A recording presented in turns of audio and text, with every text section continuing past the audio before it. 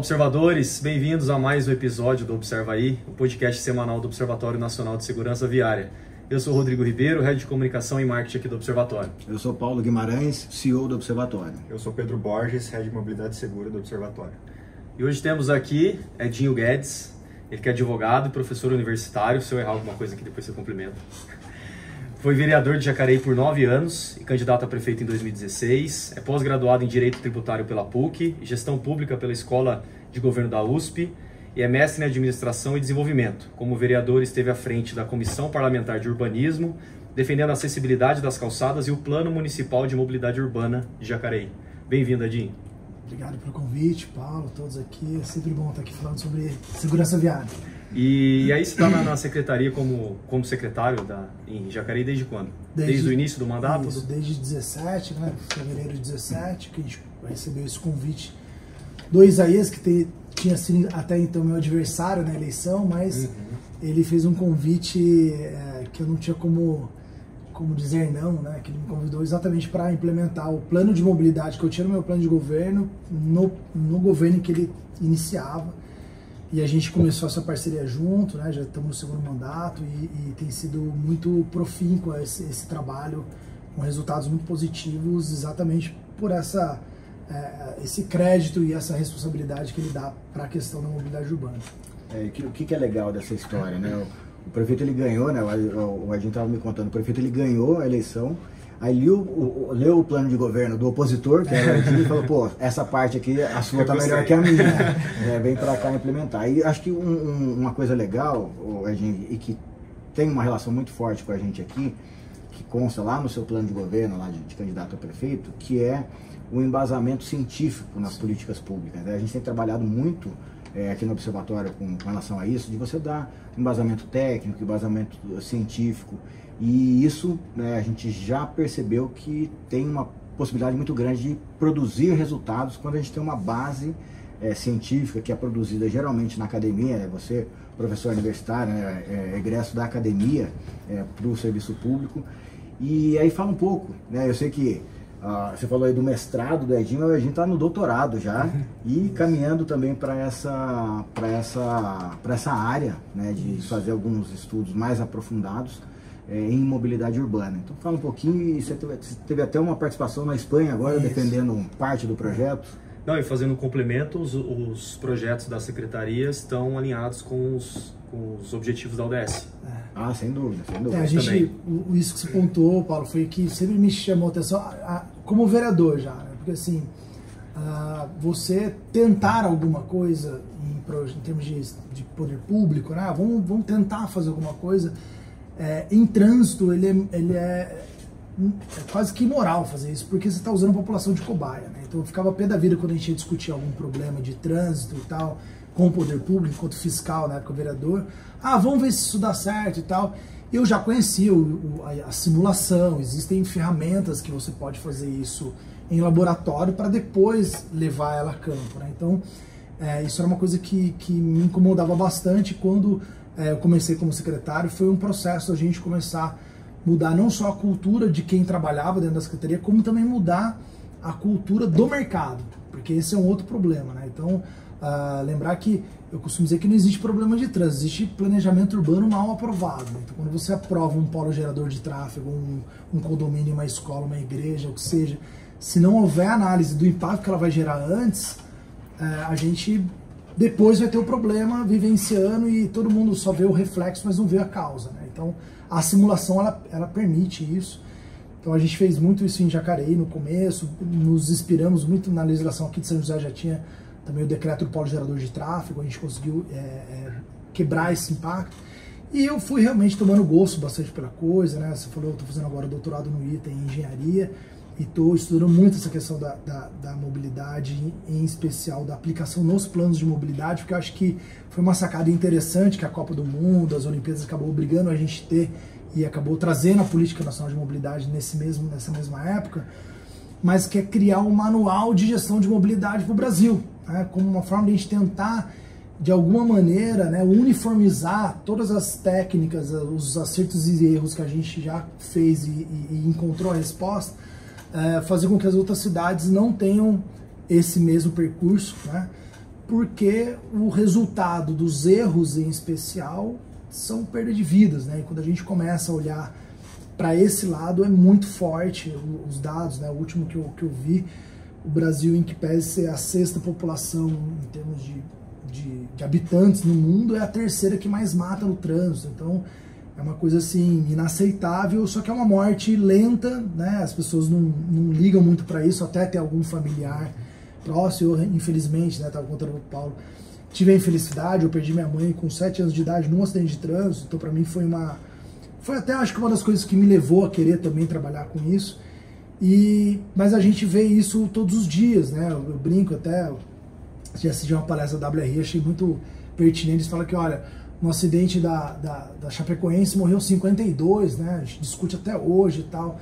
Mas no Brasil morre 97 por dia no trânsito e a gente meio que vê com uma naturalidade quando vê um acidente de trânsito no noticiário e tal. Então é, a gente precisa realmente unir forças, mais com técnica, porque fazer a gestão né, do, do trânsito, usando a população de cobaia, usando a intuição, o achismo, ou abaixo assinado, ou o grito do vereador A ou B e tal, é o caminho que não deu certo. Né? E a gente precisa mudar essa rota e é com muita ciência, com muita técnica que isso pode mudar. Se a gente conseguir aqueles que chegaram mais perto disso ainda trazer isso para um plano de mobilidade, para que isso possa ser replicado pelos gestores que vierem depois, a gente consegue criar um padrão aí de qualidade para as outras gerações. E uma continuidade, né? Eu acho que o importante a gente ter planos definidos e consolidados em legislações é que né, o Brasil tem uma, uma, um grande problema de variância de, de, de governo, né? então de, de, um plano como esse ele dá uma linha mestra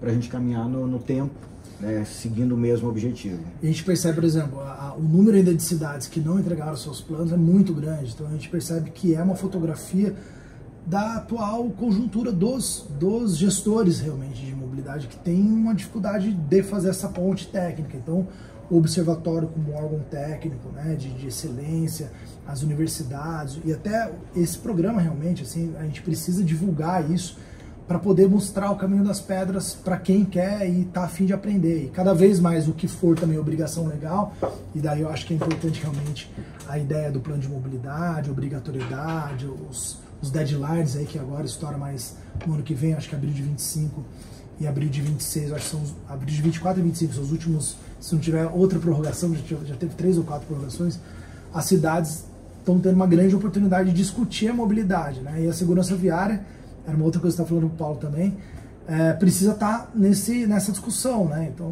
hoje é um ponto que eu, eu, eu, critico, mas acho que é fácil resolver isso.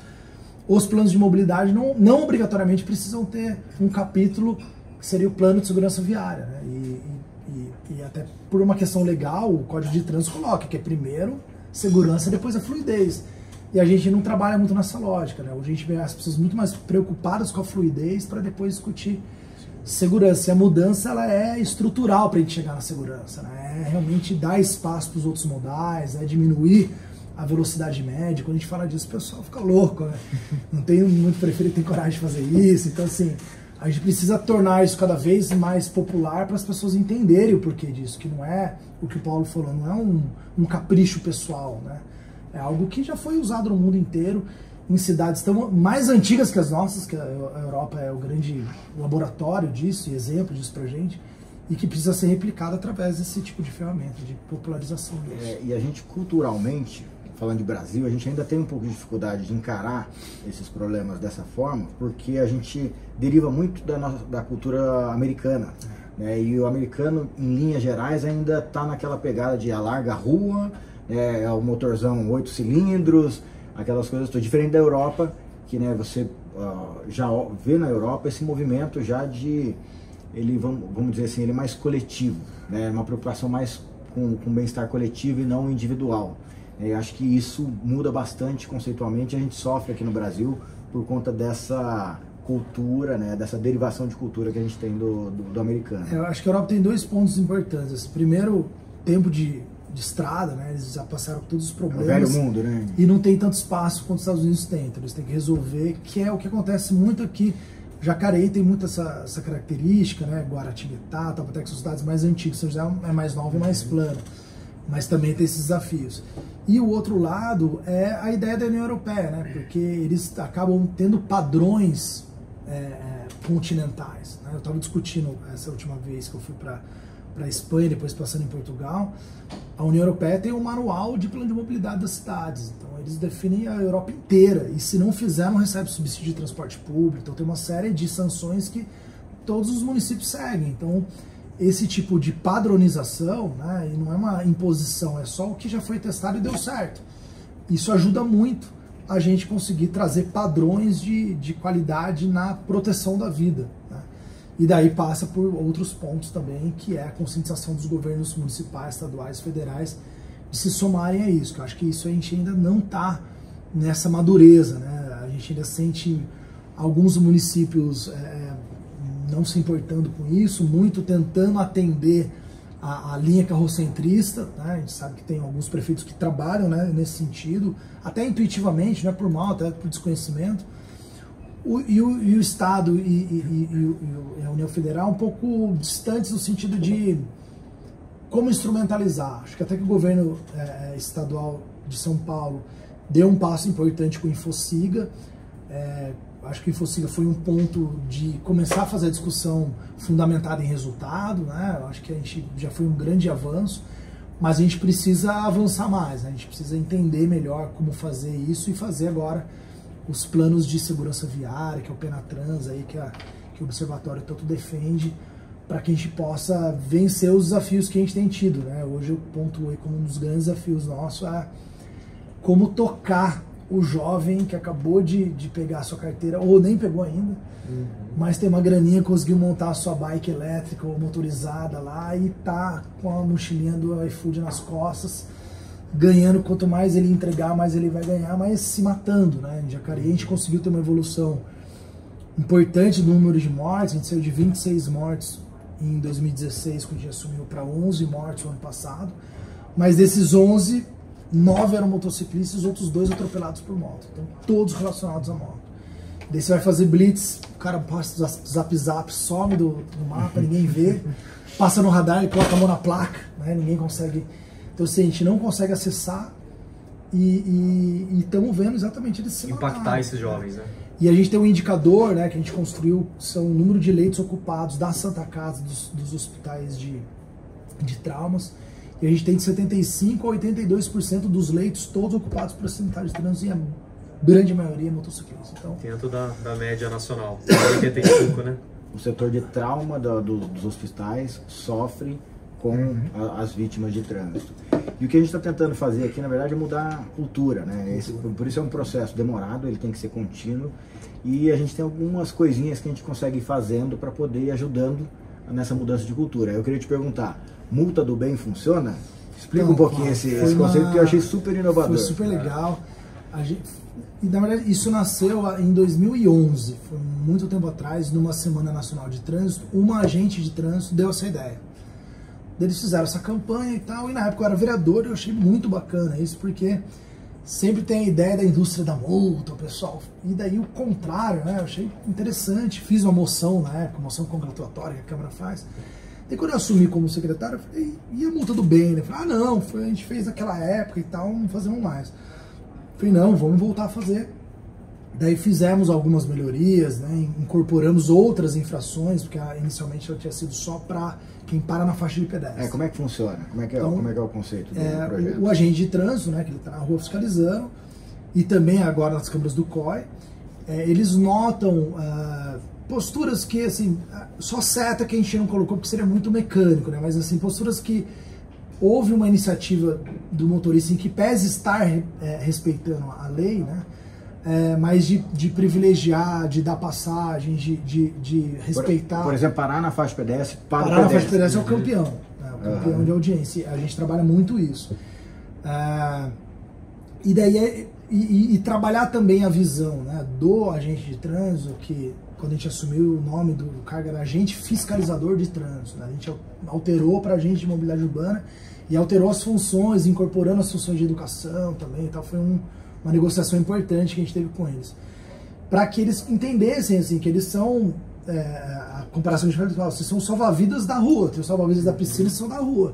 Não necessariamente você vai desafogar o cara, mas você vai ajudar a que ele não cometa isso. Né? Então a, a, atitude de trabalhar interagindo mais, usando o apito e tal, orientando e autuando menos. E essa, essa atitude no começo tem um pouco de resistência, porque era só, não, foi só naquele dia. Eu falei, não, a gente vai transformar num programa full time. E quando nós fizemos a, a, a licitação, isso já está no tablet deles, é processado pela mesma empresa que processa a multa. E, e o resultado é muito interessante, porque assim, a, a notific, chama notificação cidadã, né? A multa do bem foi o apelido que a população deu ela chega igualzinho uma multa. Então o cara já chega, pô. e é sempre aquele impacto. Ele pega a árvore, nossa. É, daí... É, e, o, e o que, que é diferente, até para as pessoas entenderem? Porque a gente já viu muita campanha educativa do agente flagrar o cidadão em infração de trânsito e aí faz uma notificação educativa e fala: olha, você foi flagrado aqui, não cometa de novo. Jacareí inverteu essa lógica. Jacareí fala o seguinte: olha, tá aqui, você está recebendo aqui um reconhecimento porque você parou para o pedestre. Então, isso que eu acho que foi a, a, grande inovação, foi por isso até que mereceu o prêmio lá no, no, no PMU. E, e, e, gerou resultado, né? E gerou é, resultado. E a gente, não, e, e 2022 ou 21 foi o primeiro ano da série história que a gente não teve nenhuma morte de pedestre na cidade. Então, todas essas ações que a gente a gente mede depois o resultado, diminuição de acidentes graves ou, ou, ou não e é, óbitos a gente percebeu isso, percebe-se já na, na rua a postura das pessoas pararem mais a faixa, então e daí é, é, mostrou pra gente que assim, e a gente foi ver também, estudar um pouco da, da, da psicologia, o reforço positivo, isso trabalha muito com criança, na né, história da, de elogiar, e é legal que corrente social o pessoal recebe, daí tira uhum. foto e, e, e, posta, daí eu, não, eu vou receber também, daí virou uma competição, um ciclo virtuoso e tal, então foi muito interessante essa, essa essa iniciativa e, e startou, né, também o mote aqui do observatório, o quanto a gente precisa, é, o grande investimento, na minha, na minha opinião, é a educação, porque em que pese a gente poder trabalhar, né, tem a, o tripé lá, legislação, engenharia, educação, mas assim, o comportamento é o que mais mata. Né? O comportamento é o grande definidor, no final das contas, do que vai dar certo ou errado. Então, se a gente conseguir incutir isso, e isso é muita repetição, muito, muita insistência, eu acho que o resultado a médio e longo prazo é maior. Então, a gente investir nisso é muito importante. Só que se a gente for hoje levantar o, o, o percentual de investimento de qualquer secretaria do seu fundo de multa, ainda é desse tamanho a educação. É óbvio que os outros, é, é, é, as outras dimensões, né, a engenharia e, e a segurança, ela, ela requer muito investimento, mas você usar a criatividade, tem muita coisa legal para fazer em educação que a gente não pensou ainda. Né? Estava estudando esses dias, é, o que a gente está aprofundando lá, as escolas públicas de trânsito elas têm autorização de usar o, o, o, a, o fundo de multa para financiar pesquisa, entendeu? Qual cidade que tem uma escola pública de trânsito está financiando pesquisa? Pouquíssimo se, se existir. Então, você acha que tudo isso a gente pode é, é, aprofundar e fazer crescer mais essa ideia do, da semente aí de que o espaço público não é para ser disputado, né? Ele é para ser compartilhado. Você falou da, da cultura norte-americana, mas a gente também teve a cultura, além da cultura norte-americana, né? Foi um, um, um, capricho da história, que é o estímulo do automobilismo, né, cara? Pô, quem que não acordava cedo para ver o Senna, né, os Piquet tal, a gente também cresceu nessa da velocidade e tal. E como dissociar isso? Então, as propagandas, né? É, as, as, propagandas são incentivam ali a, o estímulo para você comprar um carro é a velocidade, é o desempenho, né? O carro nunca tá parado, né? Você é. tá bem rápido, sem mais ninguém volta. É, é, é sempre um, um cenário também pintando, um é. cenário utópico que é. Né, nas, nas Ninguém atravessa a rua. Deserto, né? Que você nunca vai acessar, né? Mas, eu para a gente finalizar essa primeira parte aqui do, do nosso bate-papo, é um recado. Assim, se tivesse uma bala de prata para resolver a segurança no trânsito, a segurança viária. É, tá aqui, ó. Tá, tá aqui a, a bala de prata aqui. Onde a gente atiraria? Como, como é que a gente gastaria essa bala de prata? Pergunta fácil. Facinho. Sem saia justa. Difícil sair de, de uma só, né? mas eu acho assim, o primeiro, é, que eu acho que é onde a gente já tá com a mão na massa, é que a gente estava conversando antes, né? Tipo, é, a matriz de tomada de decisão não ser uma matriz política.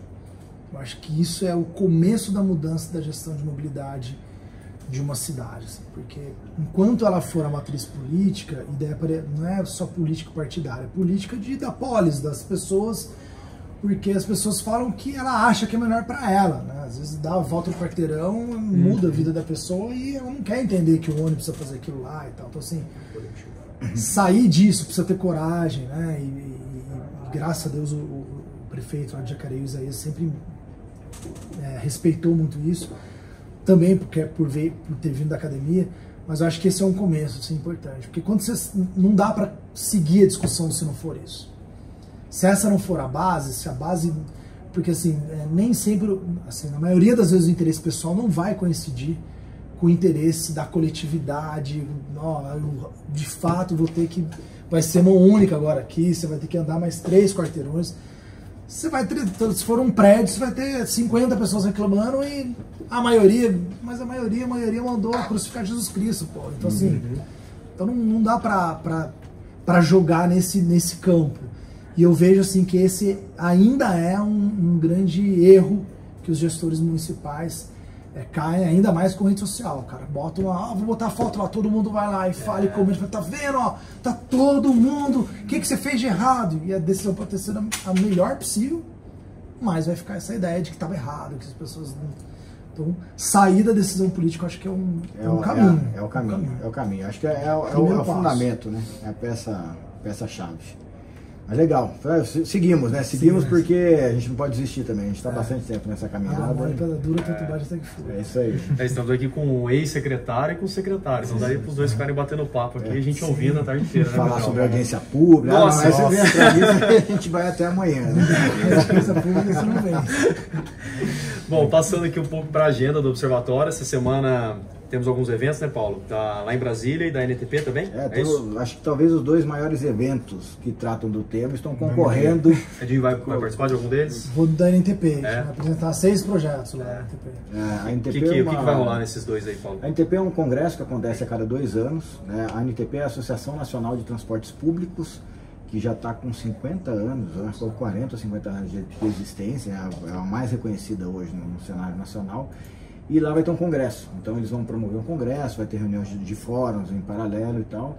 E é a cada dois anos é onde toda a comunidade técnica relacionada à mobilidade urbana eles têm um foco muito grande para transporte. Mas meio que tá virando, ela tá virando uma entidade de debate de mobilidade já. De tá mobilidade, tá transcendendo isso. Mais, mais ampla. É, e eu acho que ela é, ela é uma, uma, um órgão assim que a gente tem que tirar o chapéu para isso. Ela é um órgão que, que coloca muito na mesa a questão da discussão tanto é que assim, a gente vai para lá, ela, ela criou a Arena NTP, ela criou um espaço para que os municípios que tiveram projetos, né, que acham interessantes compartilhar, escrevem em formato de artigo científico, tem que enviar antes, passa por uma banca, se aprovado, apresenta lá, a gente vai apresentar os projetos de Jacareí. Então assim, ela tem essa característica muito de fomentar essa visão técnica da discussão de mobilidade. Eu acho que ela tem que tirar o chapéu para. É, não, a NTP é super reconhecido, tanto que o Ailton Brasiliense, que é, que é um dos fundadores da NTP, já foi presidente da CET, né, já foi diretor-geral do, do, Denatran, ele foi o nosso homenageado desse ano na, na cerimônia do, do, do né? Maio Amarelo. Uma lenda, uma lenda, é, assim, reputação ilibada, é, resultado técnico impressionante, gestão, então é, é um cara super reconhecido e que levou isso para a entidade. Então esse é um evento que está tá acontecendo essa semana.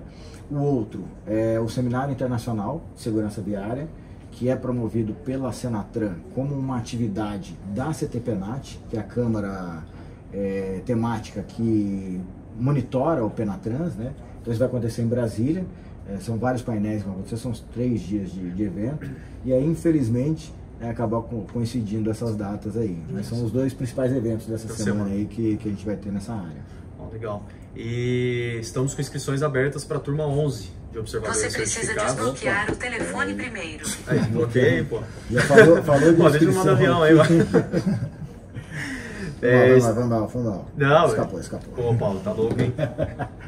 o momento da gente dar uma bronca no chefe. É, deu, dei o gancho, né? Dei o gancho. Antes de começar o próximo evento, acho legal falar que o Observatório vai estar no Seminário Internacional. Ah, isso, isso. A gente... Representado por você e pelo professor Tiago. Professor Tiago Bassa, nós dois somos membros da, da Câmara Temática, representamos o Observatório em uma das câmaras, que é essa da, da CTPNAT. E a, o start inicial do programa, né, do conteúdo programático do, do, do seminário, é, foi elaborado pelo observatório. É lógico que depois isso foi alterado, mas a proposta inicial do seminário partiu do observatório como membro da Câmara Temática, eleito dentro da Câmara para poder fazer essa proposta. Então, bem lembrado, É por isso que é bom ter pauta, né, Pedro? Boa.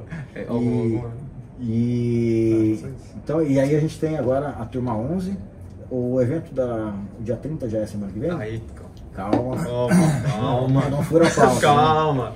Não, então só reforçando, nós estamos com inscrições abertas para a turma 11 de observadores certificados. São profissionais, né, técnicos aí especializados em segurança viária, capacitados aqui pelo observatório. É, já temos membros é, do observadores certificados do mundo inteiro, né, inclusive é, Moçambique, tivemos alguns registros aí na, nesse Maio Amarelo. Estamos com inscrições abertas, então do dia 24 de agora, de outubro, até o dia 24 de novembro, com inscrições abertas. Temos já 530, e- 536 observadores certificados espalhados aí. Então, você que tem interesse em trabalhar ou já atua com segurança viária e quer se especializar ainda mais, é, as inscrições estão abertas. Você lembra quanto a gente tem já na fila de espera para a turma 11? Não lembro. É, mas a gente já está com bastante tinham, gente é- na, na- na- na fila de espera e para essa turma 11 a gente vai ter uma novidade, porque muito provavelmente a gente vai ter um grau de internacionalização maior, porque a gente está abrindo agora, até um movimento que a gente tem feito de internacionalização do movimento Mais Amarelo, de criar essa, esses braços da rede de observadores certificados em outros países. A gente começou com Moçambique, mas agora Portugal já acho praticamente certo. Portugal, Ilha da Madeira, né, que é Portugal, mas está ali e a gente está migrando agora e trazendo para a nossa rede os países que têm a língua portuguesa como língua oficial. Então isso vai facilitar bastante a gente desenvolver aí os programas e internacionalizar de forma oficial o Movimento Mais Amarelo, que hoje já está em mais de 20 países. Isso aí. E no dia 30, próxima segunda-feira, às 10 horas, teremos o webinar para apresentar o- um relatório, um estudo feito pelo, em parceria com a Federal do Paraná, né, Pedro? Pedro pode falar um pouquinho mais. Então é um webinar sobre a taxa de mortes por bilhão, bilhão de quilômetros percorridos no Brasil, em todos os estados. Então é um método do, que o professor Tiago criou na, na tese de doutorado dele. Então eles pegaram, aprimoraram o método e replicaram isso para calculando esses dados para a primeira década de ações entre 2011 e 2020.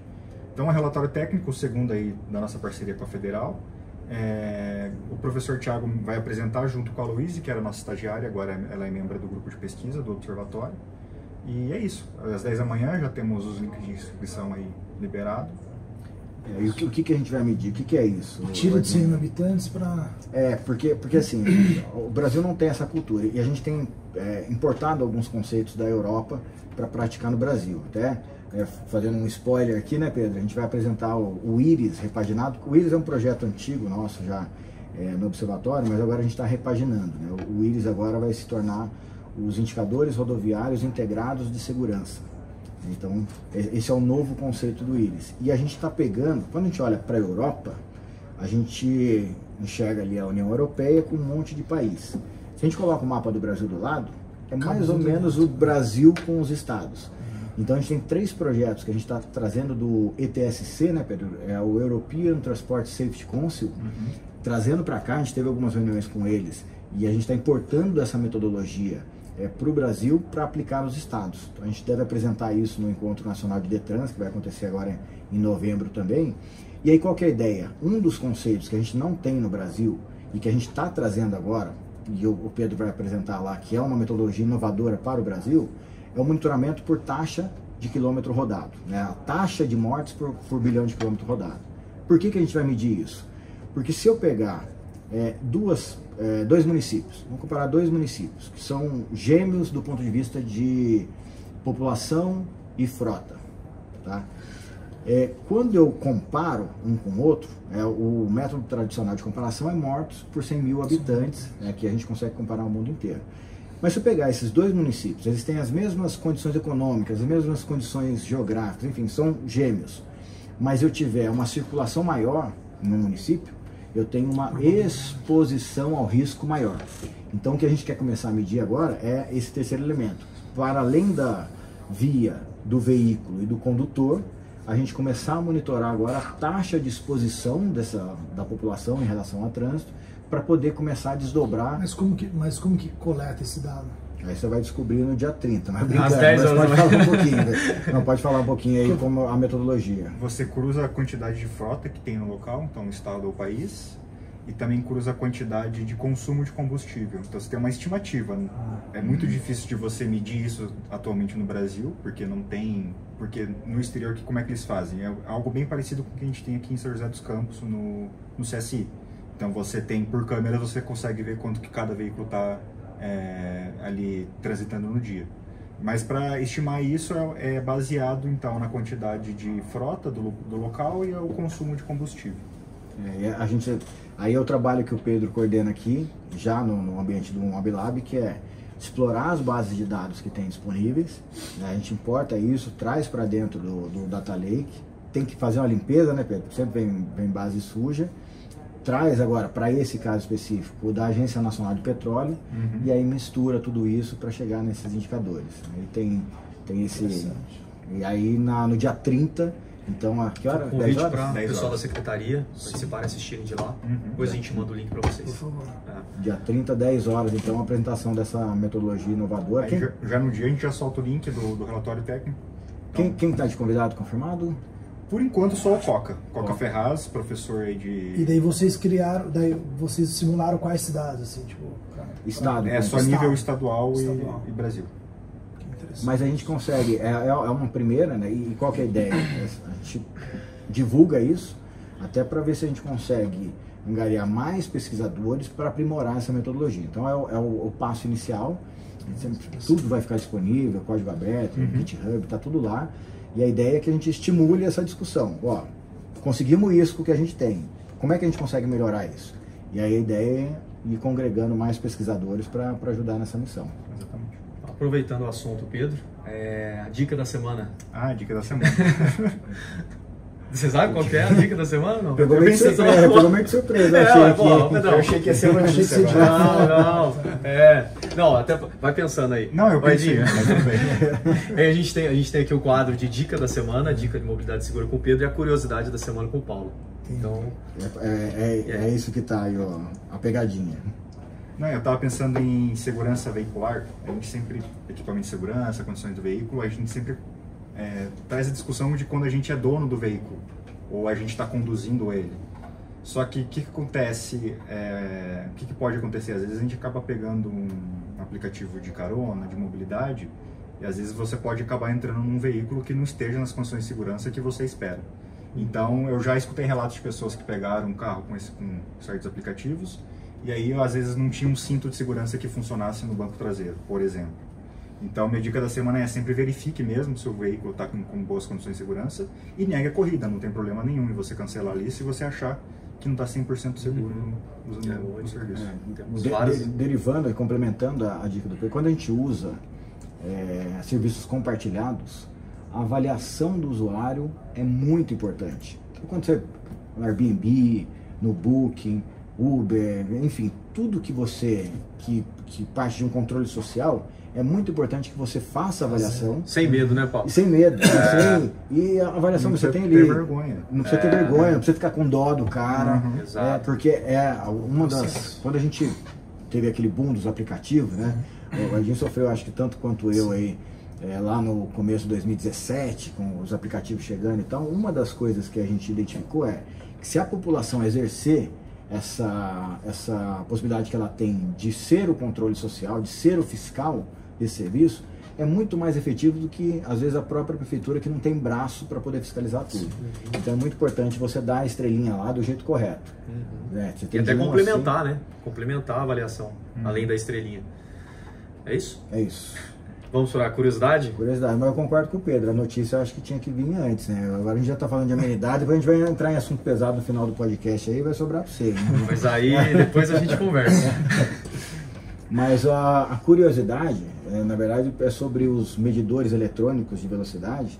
É, todo mundo é, conhece como o radar, ou tem muito lugar que chama de pardal.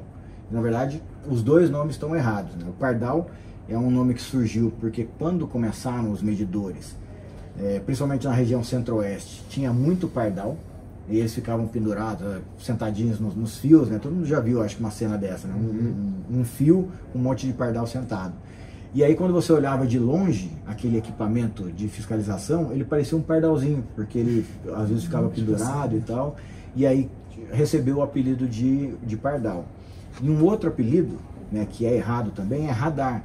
Porque aquele equipamento não é um radar. O radar é uma tecnologia de ondas de rádio que era utilizado lá nos primeiros equipamentos de fiscalização. Hoje em dia se usa muito laser é, ou laço indutivo no, no, no pavimento. O, a tecnologia de o Doppler, né, o, as ondas de rádio, ela já está caindo em desuso alguns equipamentos que ainda usam. Mas então aquele equipamento que fiscaliza a velocidade não é nem o pardal e nem o radar, é um medidor eletrônico de velocidade. Então essa é a curiosidade da semana. semana. E você vai vir com a notícia agora? A notícia já na sequência, assim?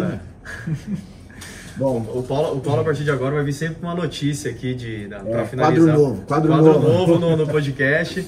Uma notícia aí que, que vale a pena ser repercutida. É, na verdade é uma notícia até preocupante, né? então resgatando um pouco o histórico, o Brasil acho que é um dos poucos países, para não falar o único, é, que tem um processo de indenização pública para as vítimas de trânsito, né? conhecido como seguro obrigatório, seguro DPVAT.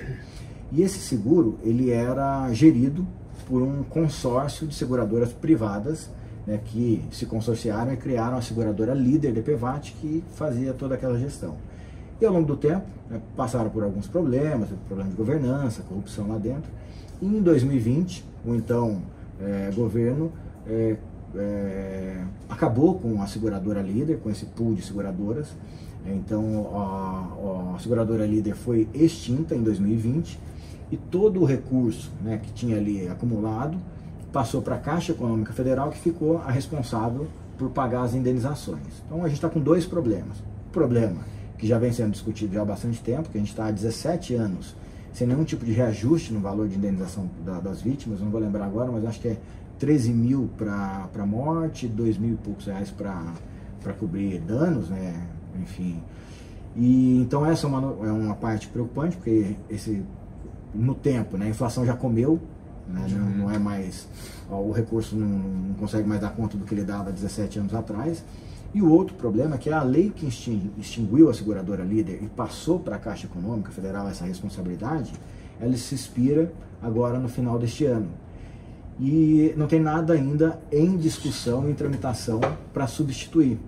Então, se o governo não tiver uma ação rápida né, de entrar talvez com uma medida provisória ou algo é, nesse sentido, a partir do dia 1 de janeiro do ano que vem, 2024, as vítimas não vão ter mais como acessar essas indenizações. Então, é uma notícia muito preocupante, porque muita gente depende né, desse dinheiro para, às vezes, se reerguer, até cobrir custos com, com velório, essas coisas todas, e a população vai ficar desaten- desatendida. Então, é um alerta que a gente está fazendo para que é um assunto que precisa ser tratado, ele está dentro do pilar ali é, atendimento às vítimas, né?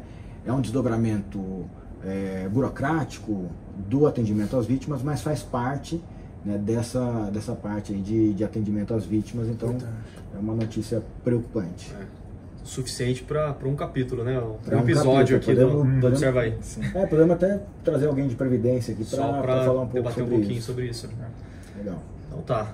É, queria agradecer ao Adinho, deixar aqui para as considerações finais e agradecer mais uma vez a sua participação e presença aqui com a Agradecer gente. o convite do Paulo, todos vocês é sempre muito bem acolhido aqui. E parabenizar o Observatório que faz esse trabalho tão importante em, em âmbito nacional, né, de não sendo um órgão público, mas da in- iniciativa privada, né, é fundamentar isso. Acho que e está ampliando até essa questão também do- do- da formação técnica, de disseminar essas é, é, ferramentas tão importantes para os gestores. Né? Então, acho que a gente precisa realmente dar as mãos nesse momento de, de, de crescimento é, é, dessa consciência, dessa. Acho que a gente está vivendo um momento, eu vejo como positivo, né? De, de- as, as redes sociais nos ajudam muito a, a, a vencer as barreiras que existiam no passado, de, de quebrar esse carrocentrismo, de mostrar que realmente é uma outra lógica que a gente precisa funcionar enquanto sociedade. Eu acho que o Observatório faz um papel muito importante, agradeço aí a- o convite e Jacarei está à disposição para compartilhar o que acertar e ser cobaia de que vocês quiserem testar, está à disposição. Legal, né? A gente vai precisar. Fase 2 agora do, do Mobilab é começar a trazer agora as prefeituras para poder compartilhar desse projeto com a gente também, trocar informação, Sim. usufruir do, do que a gente vai produzir aqui. Bacana. Valeu, parabéns mais uma vez pelo trabalho em Jacareí. Valeu. Bom, gostaria de agradecer a toda a nossa rede, aos mantenedores sociais do Observatório, a Abraciclo, a Fávia, CNT Senat ITL, a GoPlus, a Gringo, a iFood, Ipiranga, Mobilidade Estadão, Raizen, Uber, Veloy Vibra, aos 536 observadores certificados, a todas as empresas, prefeituras e entidades Laço Amarelo, as que aderiram ao Educa e a todas as instituições que mantêm cooperações técnicas aqui com o Observatório. Valeu, pessoal! Valeu, pessoal. Até a próxima. Valeu, galera. Até.